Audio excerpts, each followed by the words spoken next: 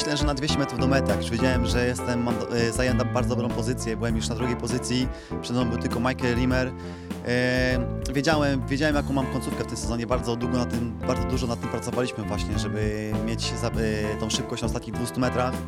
I, no i udało się, już wiedział, właśnie wiedziałem, biegając na ostatnie 200 metrów, jeżeli jestem już tylko za, za jedną osobą, nikt mnie nie zamyka, mam bezpieczną pozycję, że na 100 metrów do mety tak naprawdę zaatakuję ostatecznie i, i wtedy już tak przypuszczałem, że, że może być to złoto. Do końca nie czułam, ja po prostu czekałam tylko, aż Weronika Wedler wpadnie na metę.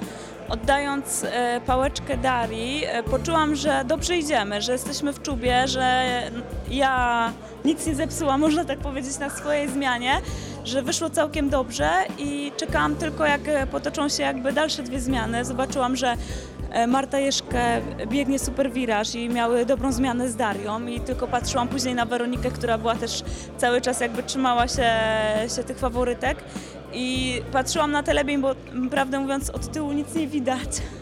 I patrzyłam tylko na telebim i po prostu jak zobaczyłam, że Weronika biega na trzecim miejscu i że mamy ten brązowy medal, to szał radości nas dopadł na stadionie.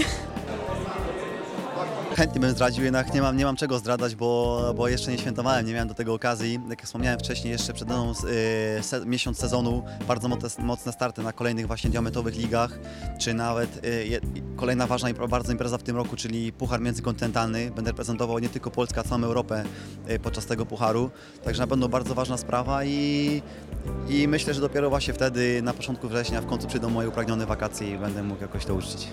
E, Emocje tak naprawdę na mnie opadały w ogóle. Ani grama. Byłyśmy po prostu cały czas tak, strasznie pobudzone i rozemocjonowane. My wyjeżdżałyśmy bardzo, znaczy wcześniej, koleżanka wyjeżdżała już o czwartej rano, jedna ze sztafety na lotnisko. No tak, że do tej czwartej świętowałyśmy. W czwórkę oczywiście, jak żeby inaczej. Są tutaj naprawdę, moim zdaniem, najlepsze warunki w Polsce, jakie teraz y, są y, y, na lekką atletykę. Stadion niesamowity, olbrzymi, całkowicie nowy, wyremontowany pod Mistrzostwa Świata Juniorów, które tu się odbyły.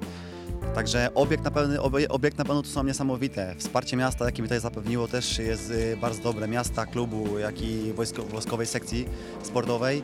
Także ja w, w najbliższej przyszłości jak naj, najbardziej zamierzam się tutaj sprowadzić, a obecnie mój brat, trener, który ma swoją rodzinę, będzie, zakładał tutaj właśnie jakąś sekcję lekkoatletyczną, będzie próbował stworzyć jakąś dobrą grupę wytrzymałościową.